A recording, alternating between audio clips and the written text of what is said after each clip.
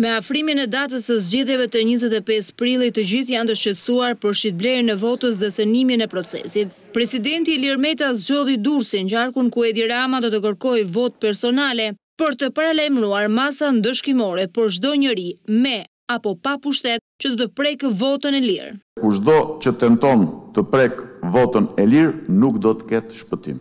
Do të ketë ndëshkim të mrekullueshëm, spektakolar, siç e meriton një armik i Republikës. Kush prek votën e lirë është armik i Republikës së Shqipërisë. Për Ilir Metën është e pamjaftueshme puna e institucioneve shtetërore që duhet të mbrojnë votën e qytetarëve dhe për këtë arsye ka marrë masa shtesë duke vendosur në dispozicion faqen e Presidencës për të zënë në kurth të gjithë ata që do të cënojnë zgjedhjet.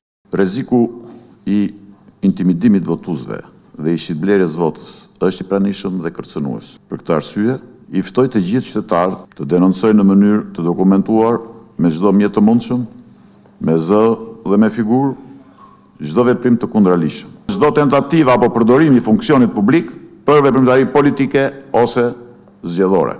Refuzoi të merret me emra të përveçëm por kreu i shtetit kishte një këshillë për qytetarët e këtij vendi.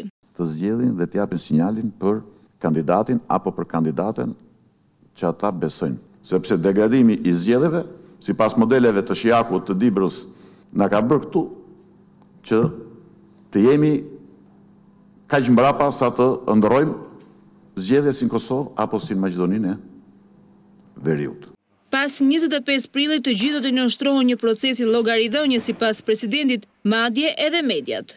I ftoj mediat gjithashtu të jenë mjaft transparente, është në të mirën e tyre, për të qenë të gjithë sa më me rrethana lehtësuese përpara sistemit të llogaridhënies që do të vendoset me hir dhe me pahir falë votës së qytetarëve shqiptarë në njëzet e pesë prill.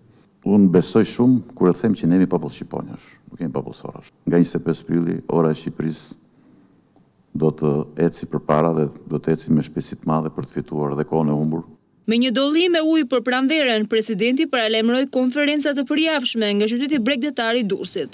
Gëzuar edhe për pranverën?